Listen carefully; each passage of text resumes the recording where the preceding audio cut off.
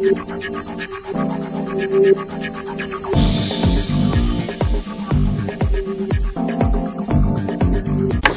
my name is Eric Letendre.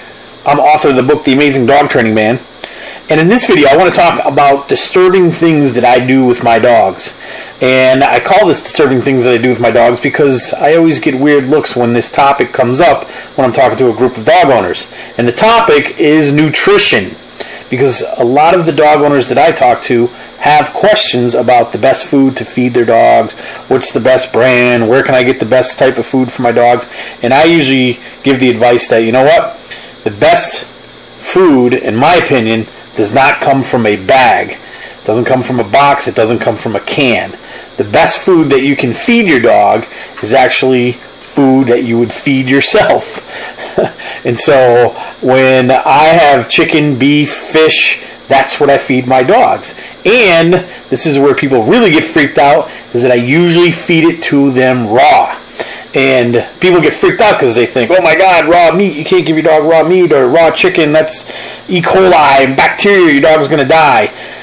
But again, you have to understand that humans are really the only species on the face of the planet that cook food. And believe me, I don't eat raw meat. I don't. I, I, cook my meat. But for dogs, I think that it's much better because their digestive system is developed differently than ours, and they can de- digest the food easier, and they're actually designed to eat raw meat. Because a dog, if, if it was loose from your house, that dog would go out and eat some raw food. I guarantee you, your dog would not be cooking it.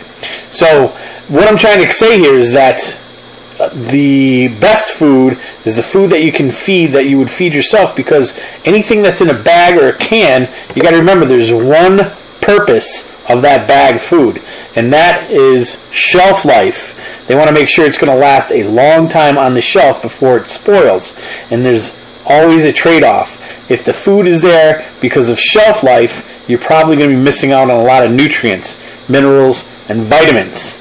So, if you're interested, there's a great website that you can check out. It's called barfworld.com. It's by this uh, Australian veterinarian. His name is Dr. Ian Billinghurst. Really, really smart guy. You can check that out. And uh, don't forget, you can always get my free ebook, 101 Ways to Improve Your Dog's Behavior. Thanks for watching this video. Have fun with your dog.